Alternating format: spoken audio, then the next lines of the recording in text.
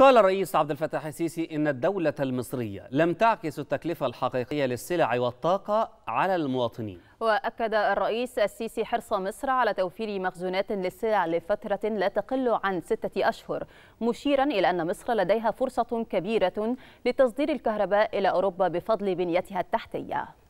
أول حاجة إحنا حريصين عليها إن إحنا ما نعكسش تسعير لا الطاقة ولا السلع بثمنها الحقيقي على الناس. وده الحكومة آه، اشتغلت عليه ويمكن حزمة إجراءات الحماية اللي اتعملت اللي إحنا أعلنت عنها من أول هذا الشهر يمكن تكون داخلة آه، في هذا الإطار. ثم طبعا المبادرات اللي موجودة لتوفير السلع ديت آه، في الأسواق بأسعار يعني تكون مش ما تشكلش عبء على الناس بشكل كبير.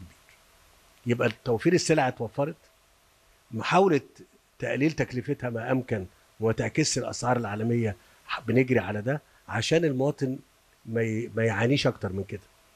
أنا بقول الكلام ده عشان آه تبقوا عارفين إن إحنا ك ك يعني كمسؤولين حريصين على إن إحنا ما تبقاش الأمور الضاغطة على الدنيا كلها وضاغطة علينا كمان إن إحنا نصدرها لكم بقدر الإمكان بقدر الإمكان. يهمني هنا أقول إيه؟ إحنا عندنا توفير للسلع الأساسية كنا حريصين خلال السنتين ثلاثة اللي فاتوا من 2016 يا دكتور مصطفى وحتى الآن على إن إحنا يبقى عندنا ما يقرب من آه ست شهور خمسة ست